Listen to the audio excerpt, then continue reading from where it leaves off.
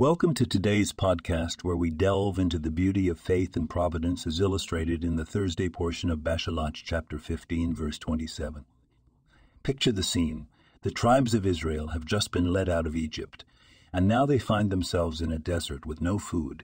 It's the fifteenth day since their departure, and the anxiety is palpable. Then an extraordinary act of divine kindness unfolds. Each tribe is blessed with its very own spring of water, and for the esteemed elders, seventy date palms, seventy date palms stand tall, a symbol of wisdom and sustenance.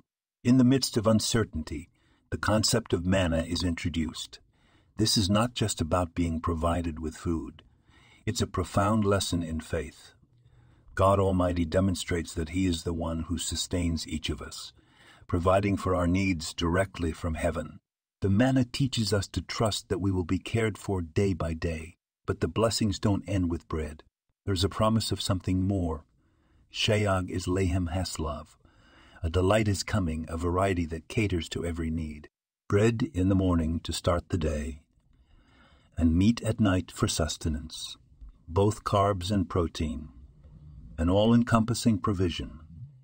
Yet, amidst these blessings, there's a cautionary tale about the power of our words and attitudes. Bishmo Hashem, when God hears the murmurings, the complaints of the people, it doesn't just affect the complainers, it causes others to join in the discontent. Misli nanim, it's a stark reminder that our expressions of dissatisfaction can have a ripple effect, influencing those around us.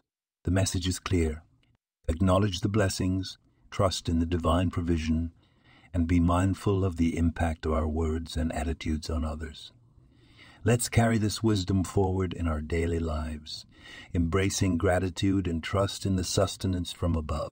This podcast was produced and sponsored by Daniel Aharonoff